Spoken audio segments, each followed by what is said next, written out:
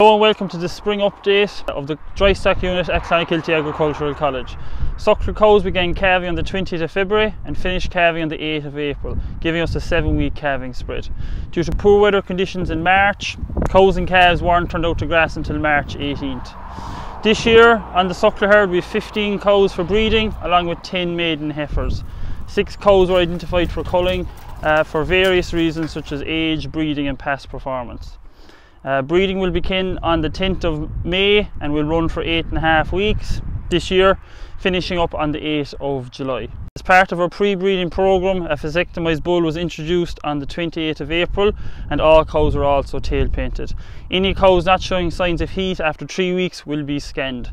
Uh, all heifers will be served to a fixed time AI protocol uh, beginning on the 4th of May uh, and will be served on the 12th of May. Lambing began on, began on the 17th of February with 90% of ewes lambing in the first seven days. Lambing finished up on the 17th of March.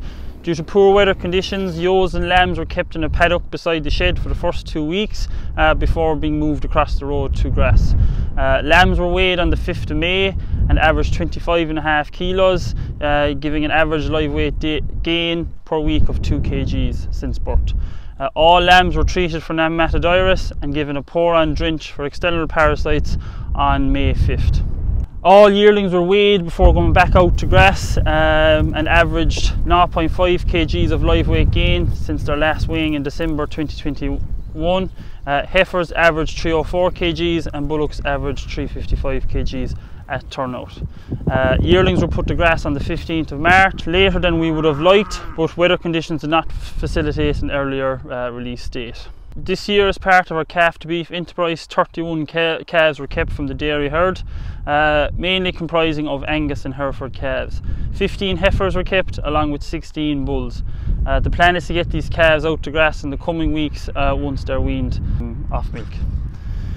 The latest grass walk was carried out on the 9th of May. Uh, the current grass situation on the dry stock unit is growth of 94 kgs of dry matter per hectare, demand of 69 kgs of dry matter per hectare, average farm cover of 1292 kgs of dry matter per hectare with 19 days grass ahead and we're currently stocked at 5.2 livestock units per hectare.